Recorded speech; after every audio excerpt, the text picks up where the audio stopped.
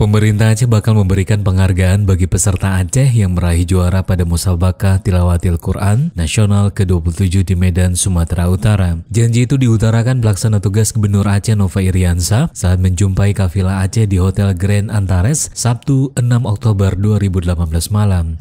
Perhelatan Musabakah Tilawatil Quran atau LTQ Nasional ke-27 2018 secara resmi dibuka oleh Presiden Joko Widodo di arena utama MTQ Nasional, Kota Medan, Sumatera Utara, Ahad 7 Oktober 2018 malam. Jokowi mengajak masyarakat Indonesia untuk memandang MTQ bukan hanya sebagai acara rutin tahunan dan ajang adu kepintaran, melainkan lebih dari itu menjadikan MTQ sebagai suntikan energi bagi umat Islam di Indonesia untuk membumikan Al-Quran dalam kehidupan sehari-hari.